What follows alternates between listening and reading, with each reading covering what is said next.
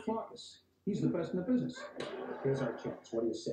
It'll be me, you, and the bro, bro. Let's go.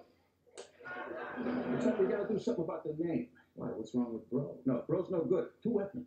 I do that something better? How about uh, the Manssiere?